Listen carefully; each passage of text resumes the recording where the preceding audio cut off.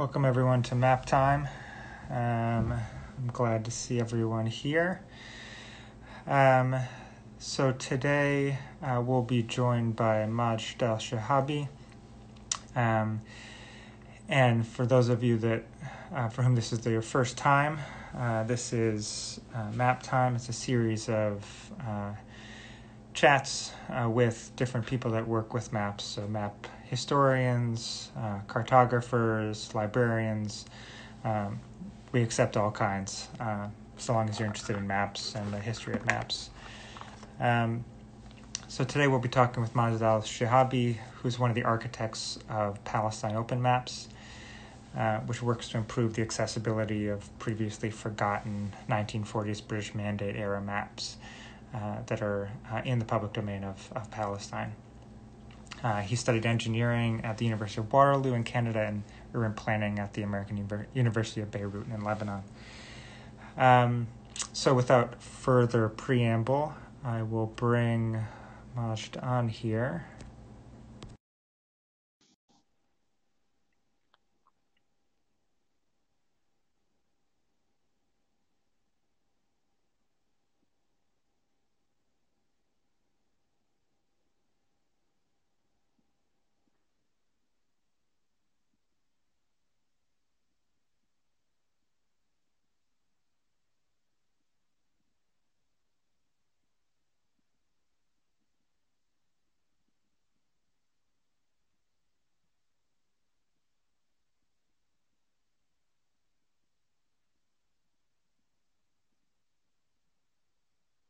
Just waiting for the connection to work.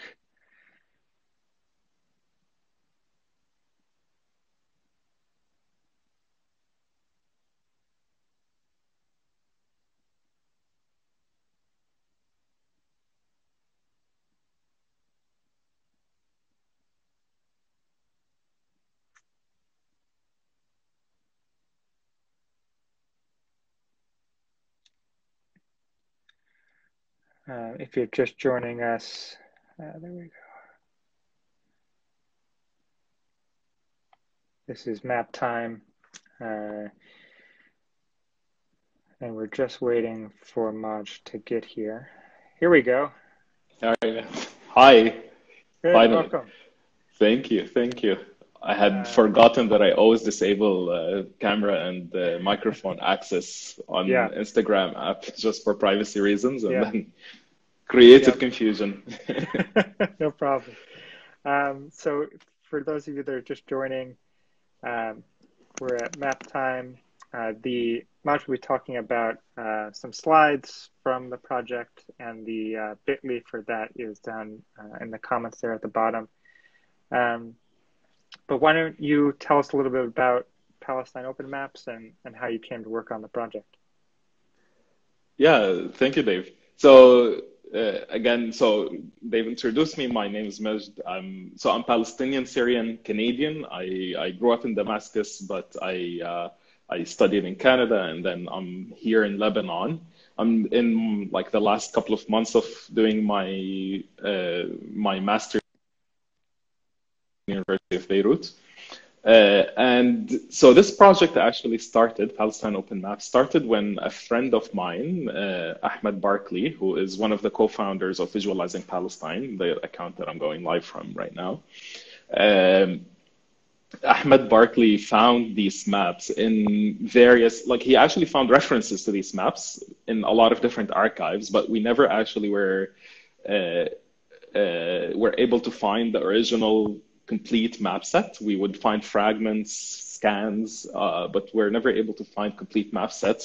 And then at one point, we found the entire collection digitized uh, in the British Library uh, archives, and uh, and it's all in public domain. So we checked all like the the because it's it's uh, in in British uh, law because so these these maps were made by the British colonial authorities. So Palestine was colonized by uh, by the by the United Kingdom or between uh, like the 1919, depending on how you count, until 48.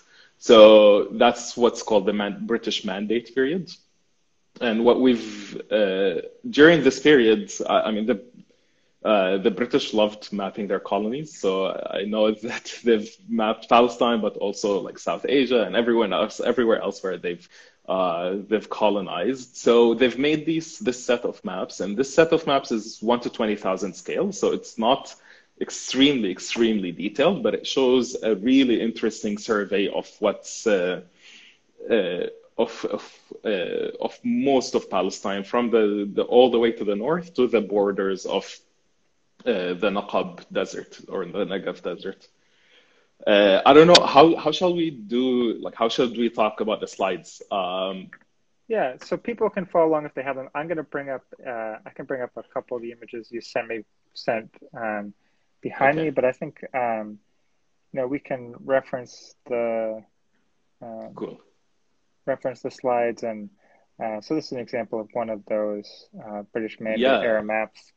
Um, so but, this this map is so yeah. Just to finish the idea of how the project started, yeah. uh, Ahmed found these maps. We uh, uh, he organized this uh, idea lab where we brought in people from different parts of uh, of the world who are working on data and visualizations. And each one got a different data set. I got the maps with a few friends uh, mm-hmm. uh, who were map people, and uh, and we uh, uh, we just experimented with what can we do with these maps. So what we did is that we took each map has its own its own frame, its own legend, and then what we did is that we uh, cut out the frame and the legend and stitched all of these maps together. There are 155 maps, I think and then we reproduce this one gigantic map. Uh,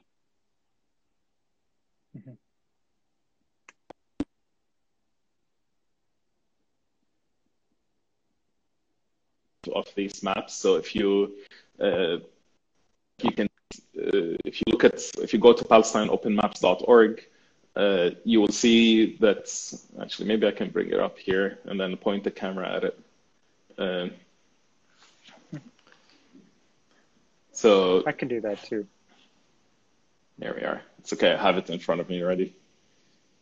So you can see here, like these squares, uh, each one of those squares is an individual map sheet, but then we stitch mm-hmm. together and you can see like the discoloration in the maps here.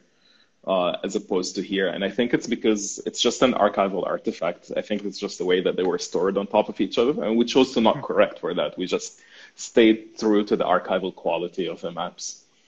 Um, yeah, and so you know the the the labor you've you've done to to georeference and and code these maps is really interesting. Can you say a little bit how how that has happened, kind of who you've worked with, and uh, and all that? Yeah, so it's actually it's it's really nice that uh, so one of the things that the British did again as part of their colonization process is that they've created a, a grid, a reference grid for Palestine, um, and uh, uh, and it's called it's called the Palestine grid. I forget what the ISBN number for it is, but uh, uh it's uh, it just has Palestine perfectly uh, fitting. so and each one of those map sheets is uh, fits in one of the squares of the grid. Um, uh, I think it's 10 kilometers uh, in each dimension, each one of the sheets. So it was like super easy just on uh, QGIS. We take each one of those sheets, we take the four corners. Actually, before that, we in Photoshop, we had to rectify them because some of them were not like the scans or the photograph, mm-hmm. the, the rasters were not perfectly square. So we had to rectify them a little bit in uh, in Photoshop, uh, and then in QGIS you just reference them, georeference them. The the the the, the, corners are really easy to to identify in the uh, in the Palestine grid, and there is really simple conversion using QGIS into mm-hmm. GeoTIFFs. Um, yeah. And then we use GDAL to just stitch all of these maps together. Uh, yeah. Uh, Just using command is, line tools. Yeah, the stitching and the, the tiling is really smooth on the site, which is great. Uh, it's something we we are striving for in, in projects that we're doing. And you know, I think one of the things that's encouraging for for us is in seeing projects like this is we have hundreds of thousands of topographical sets that you know mm. any one sheet is very boring uh, but when you get the whole set together and you have a and you make them useful like the way you're doing then it's a really living and exciting uh, set and so Absolutely. working with these tools to figure out how to do that i think is really interesting um, you know, Absolutely. Other... Actually, one of the, yeah, tell us. Yeah. No, go no, go ahead. One of the things that we did is, as part of uh, visualizing Palestine is that we uh, so we've done different exhibitions and we've kind of extracted data out of these maps and visualized them in different ways. So mm-hmm. one of them is uh, we worked with uh, Ahmed actually, so in particular.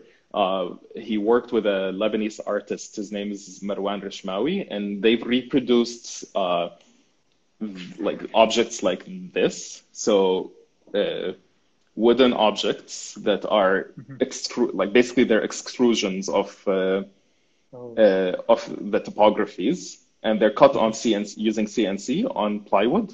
So that really nice thing that it wasn't actually we didn't expect it to happen, but you can see because of the the fact that plywood is made of plies, uh, you can see the layers of the of the plywood and they almost match the topography they're almost like topographic lines right mm-hmm. so uh, uh, we're actually selling these as uh, as fundraisers for the project.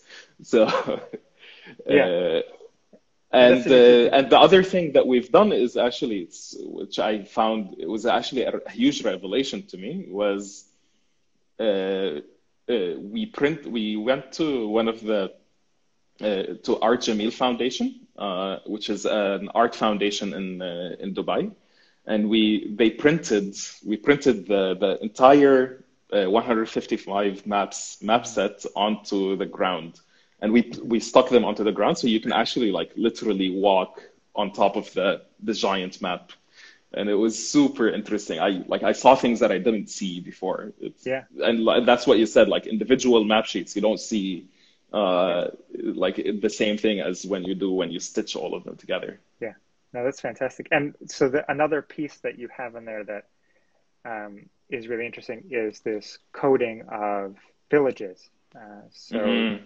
uh, we had in the in the visualization uh, in the website. They're coded with different colors. But can you tell a little bit about how how you get that data? Who does the you know placing of those things? How all that process works? Mm-hmm. So that data, I think, uh, so each one of those dots that you see on the map. So I'll I'll bring it up in front of me here. Um, so you see, um, this is the entire map set and you see different colors. And when you hover on each on any village, it gives you the name. Uh, the green ones are the ones that remain right now. So I'm going to turn that off, and I'll, I'll show you the everything else is basically ethnically cleansed villages. So in 1948, when Israel was created, there were these Zionist gangs that went through Palestine and ethnically cleansed each village. Uh, and uh, you can see it draws the outline of, of the West Bank here because the West Bank was not ethnically cleansed. And each one of those dots is uh, has a file associated with it. We got the locations of those dots from uh, from a project created actually by Jewish Israelis uh, in an organization called Zochrot, which literally means memories um, in, in in Hebrew. And they've done a really amazing job at compiling basically files on each one of those villages. Uh, there are about 500 of them, and they've kind of documented every single thing there is to know about these villages. Uh, with uh, and then what's uh, and then we comp- the green dots because they're not ethnically cleansed. We actually relied on a, a project called Palestine Remembered, which is one of those like really early internet projects that has like it still looks like it was made in 95 uh, but has amazing data in it. Uh, palestineremembered.com i think or .org. Uh, but actually, the more interesting part of, of this project, so if you look at the map that you have of Lubia, so Lubia is my village, my grandparents' village. Um, so you can see like the, the name of the village, Lubia, uh, but you see other uh, features, land features around it. So you see Nabi Shuamin. Nabi means prophet. Shuamin is the name of the prophet. I've never heard of him. Uh, there's Maqam al-Khudr. Khudr is also like one of these figures that uh, is very like every every Palestinian village or every Levantine village has a, a shrine to to al-Khudr. And uh, and you can see like original place names. I don't, they're not within the frame of this of this map, but you can see original place names. And one of the really nice things that uh, uh, one of the like the big the big project that I'm doing with these maps after I've we've put them on onto the website uh, is that we've uh, uh, we put them on. I started doing these mapathons where uh, I took the, I think our audience are already know uh, OpenStreetMap. OpenStreetMap is like the uh, open data repository for geographic data, and uh, and it represents like a snapshot, a draft snapshot of what the world looks like in geographic data today. Uh, so what I did is that I took the open source infrastructure of OpenStreetMap and put it on my own server. And I started running these mapathons where I invite people to actually start vectorizing the content of those maps.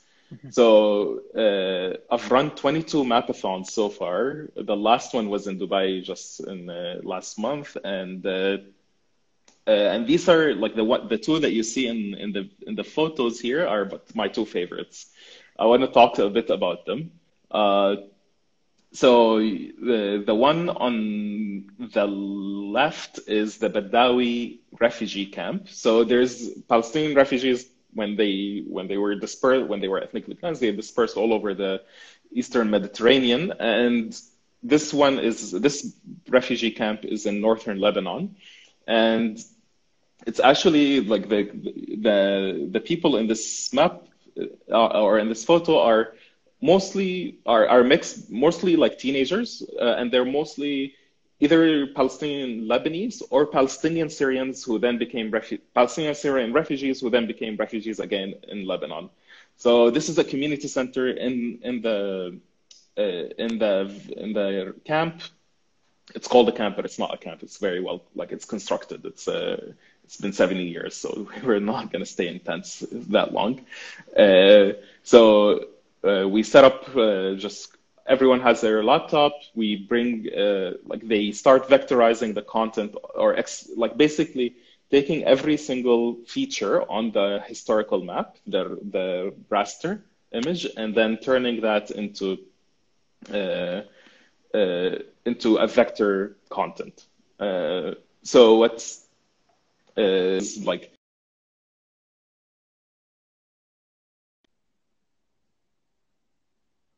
villages, like they know that they're from uh, Tarshiha or from Haifa or from Jerusalem or from whatever village, but uh, they they've never seen it because there's never there's almost never artifacts of that of that village. And um, but what they what they do here is that they're actually seeing the maps of the village for the first time, so they know what it looks like. And then the other really nice thing is that they uh, uh, they're contributing to an open data set that then researchers or even them in the future when they go and they do their studies, they, this open data set that we're distributing, anyone can take uh, under an open database license, uh, uh, just attribute it to us and make sure, and just use it in whatever way you want. You, uh, it's a, uh, uh, they contribute to this data set and they become contributors to this like project of like an intellectual project that's trying that tries to bring back uh, the history of Palestine into today. Uh, and then the one to the right is has no, three people. Yeah. The one to the right has my three, my three favorite people in it. So it has my little sister. She's 15 years old, and she was my technical assistant. Uh, she, she, I mean, she's 15 years old, so of course she knows everything. Um, and then there's my mom, uh, who was who also coordinated the entire thing, and then there's my grandma, who is she was 11 years old when she was ethnically cleansed from Lubia, from the village that I showed before, uh, and she became a refugee in Syria, and now she's a refugee again in Canada. Finally, she she just got her Canadian citizenship last uh, earlier this year. She's, she became a citizen of anything for the first time of her life. Um, but she actually she helped us in uh, in the vectorization process. And I, how did she help us? She actually, uh, uh so the the place names that are mentioned in these maps, they're uh, they're transliterated into Latin alphabet. Mm-hmm. So they're the original place names as they were commonly known back then, but they are transliterated into Latin. Uh, and if you're if you know Arabic, like the way that vowels work in Arabic is not the same. Yeah. Trying to reverse the transliteration from Latin to Arabic. So what my grandma did is that she, like, as soon as I start pronouncing a place name for her, she immediately knows how to pronounce it and how to reverse the transliteration. Mm-hmm. So it's a really nice intergenerational project that brings in like like the, the the elders of our of our community with the youngest people and just everyone in between you know? Yeah. No i i really love that about the project that it's take that it's you know it um, it's in its uh, you're it's described as in its alpha stage now and i think um, part of what you're saying is is building a um, a kind of data set and also a um, a repository for not only maps but also these kind of oral histories, these other mm-hmm. kinds of of um, data or information that's out there. And I guess uh, I'd love to hear you talk a little bit about, a little more about how you imagine it going forward. Like, what are the what are the directions you're hoping it, it will go in from here? Yeah. So the one thing is that in September, I'm I'm I'm starting a PhD based on the questions of these maps. So expect me to expect to hear a lot. Only five. uh, but actually, there's a lot of really interesting things that you can do. Because, like, one of the things that's really exciting is that, like, once we've created this map set, you can actually then go in and just use it in whatever way you want, right? As a researcher, as an artist, as anything. So I have like a few a few ideas of things I want to do. Uh, one is that uh, I'm working with uh, a, a, a, type designer. He he designs fonts uh, in Arabic, uh, and he is his work is fantastic. His, and he he does cre- he creates open source fonts. So one of the things that he's done, uh, what I've so this is credits uh, to who's like the researcher researching Palestine maps since like the 60s. Um, uh, he Salman Abu Sitta went into the Palestine Exploration Fund archives and found this uh, document. And it's these are the notebooks of the, a guy called the Damascene scribe. His, his name is uh, Nu'man Qasatli. Um, and you can see like the transliteration content. So you can see like uh, the the Arabic place names and that Latin transliteration.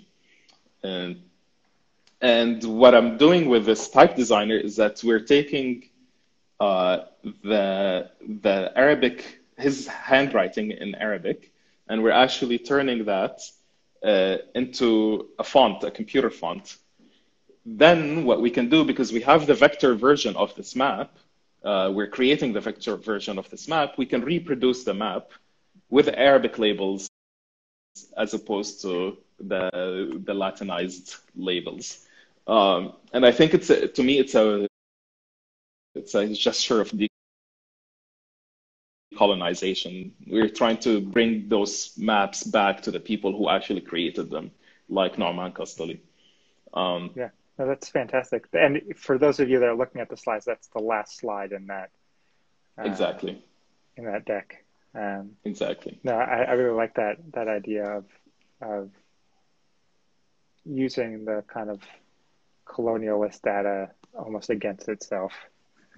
Yeah, it's called, I think in archival theory, they call it reading the archive against its brain. Mhm. Uh, Yeah. Uh, and I really like that metaphor. It's it's, it's visceral, you know. Yeah. Um, Uh, and in the future, yeah, no, no, there's ahead, other a ton of other things. Like I, I want to create an exhibition where you, like a virtual reality exhibition where you can fly over these maps and like because we like the the map set that I'm I'm talking about is the one to twenty thousand scale, but we have other map sets. One is like the oldest one is one uh, from 1870s, from the made by the Palestine Exploration Fund, and it's. Uh, its its scale is one to sixty six thousand or something, and it's, it's actually one inch to the mile.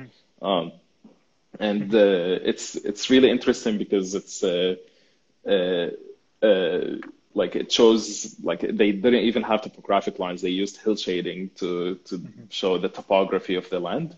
Uh, but we have like seven, I think, different uh, map sets, survey map sets, and a few like more zoomed in, like more finer scale uh, city maps. So what we're going to be doing is uh, what I'd like to do is it's like l- we layer those maps on top of each other, uh, and and I like this layering metaphor because then like you have uh, because it's it's very it's like Palestine Israel. Like you just need to scratch the surface of Israel to find Palestine underneath, um, and uh, uh, so I'd like to create kind of like a virtual reality experience based on this layering metaphor. And just so you can actually experience the maps the way that we did at the at the exhibition where we printed them and to, put, lay them out on the ground. But instead of just like having to pay a lot of dollars to uh, to reach a specific place and print them we just do it in a virtual reality space.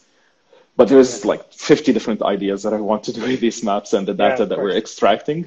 we just need to some time and money and helpers. We need more people working on maps. yeah.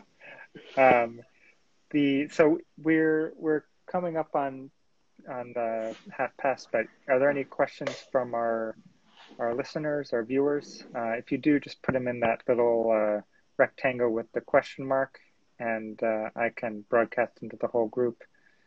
Um, the first couple of these, we had lots of questions, but people have been shy since then. Yeah, I can Uh, imagine. the one i mean one other question i had was how how this project's been received in different parts of the region so you know in israel in uh, palestine um, in lebanon and syria and then of course in you know canada and and the us so um, because like you're saying there are different very different attitudes about um, you know occupation in all those different areas uh, a lot of conflicting opinions and i guess i'm curious how people are, have reacted to it Yeah, so as I said, I've like just the mapathons. I can speak mostly to the mapathons. I've done 22 mapathons all over the world. So I've done uh, like in North America and Toronto and uh, and Kitchener. I've done them in uh, in uh, uh, in refugee camps here. I've done them in Amman, in Dubai. Uh, I've done them all over Europe, in Milano as part of the Milano Design Week, in uh, in London at the British Library, uh, and at various places. So the the nice thing about it is that it brings in a lot of different people from different disciplines. So you have designers, and you have map nerds, and you have GIS nerds, and you have uh, like just Palestine people in general, uh, people who are interested in Palestine. One of the, the dreams that I have is to actually run this mapathon in Palestine, Israel, um, Mhm.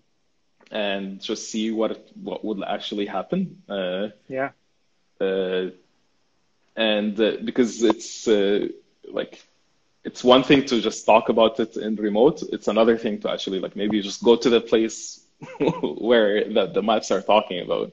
yeah Uh, and of course, there is uh, in in I mean, there's a lot of anti-Palestinian racism all over the world. Uh, we did have a few threats, like especially in London and in Toronto, where people wanted to disrupt the events. Uh, and uh, but eventually they didn't materialize. I think it's uh, because I mean we're not. I'm to me, I'm not saying anything controversial. These are historical maps that were Yeah. like they're not even made by us Palestinians. They're made by Mhm. the British colonial authorities. So I'm not saying anything new at all. Um, uh, and uh, uh, so, like it's to me actually, actually, I think they have a lot of these maps have a lot of potential to like kind of bring a kind of a step towards uh, a resolution to this conflict. So I'm I'm a firm believer of the of uh, the one state solution, where Palestinians and Israelis live in the same country, the which is like the entirety of historical Palestine or modern day Israel. So there's there wouldn't be Palestine or and Israel side by side. They would be like on top of each other. They're the same country. Um, as equal citizens in an equal uh, in a democratic state. And I think this map, these maps show that like without actually acknowledging the history of what created Israel, uh, you cannot actually uh, go on to the future. Like you can see, like every time you scratch Israel, you see Palestine underneath. It's you cannot forget that history, um, uh, and that's I think part of the reason why Israel is so uh, so much in trouble right now. Like you hear Israelis complaining about uh, about Netanyahu and the right wing coalition, and that's they're going to try to annex the the West Bank in or parts of the West Bank in a in a few weeks. I mean, what? uh, uh, I just think that the, those maps eventually, hopefully, if I drew this mapathon in Palestine, Israel, they will actually help both Palestinians and Israelis imagine a different future where we can actually live as equal citizens in a single state. Yeah, um, that's super interesting. The uh, we have a little bit, uh, so we have some questions about how people can contribute or be involved. Mhm. Um, do you want? Yeah, so like the easiest way to, the most direct way that you can involve, be involved is to actually start helping us with uh, vectorization. If you live in a place where you have resources to invite me or one of my colleagues to do a mapathon in your institution, in your public library, in your art center, in your community center, I'm more than happy to help. I'm right now based in Beirut. I know that travel is really difficult right now, but I'm right now based in Beirut. Starting September, I'll be based in Toronto. And uh, uh, and I'll have those geographies accessible to me. Uh, uh, in terms of uh, anything, other ways to help, like I'd, hmm, I'm trying to think. Uh, uh, ju- yeah, just vectorization of the maps because we have a ton of maps, and like once we're done with the one to twenty thousand scale maps, we're gonna go on to work with uh, more finer detailed maps like the city maps and the master plans and things like that. Um, uh, so there's a lot of vectorization work to do, and if you're interested in just like uh, uh, like if you one of the things I'm really excited about is the potential for these maps to trigger to trigger memories in the older generation of Palestinians who knew Palestine before the Nakba. Um, and uh, so if you have a grandparent who uh, uh, who remembers these things, just take out the map, find find up find the place where they grew up as a child, and ask look at the place names in the map and ask them what do they think of uh, what do, what do the place names trigger in their memory and record that and send it to me. Uh, I'm at Mejdal on Twitter. Uh, Yeah. Because I'm trying to, I think oral history is a big import, is a super important part of uh, of how we remember, and I think this uh, uh, these maps are a prompt for oral histories. Yeah, great. Um, yeah, I think that's a good a good place to to end on. So, um, yeah, thank you so much for coming. This has been really interesting.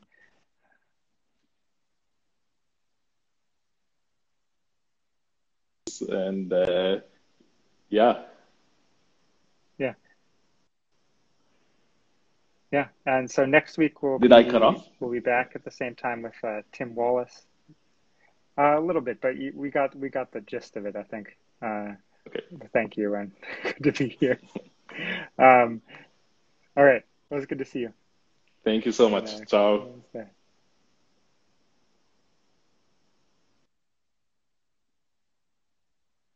So next week we'll be back with um, Tim Wallace, who's a geographer uh, and visual journalist at Descartes Labs. Uh, he previously worked at the New York Times, where he was part of the team that did the maps of every building in the U.S. And he has a PhD in geography from uh, University of Wisconsin Madison. Um, so thank you all for coming.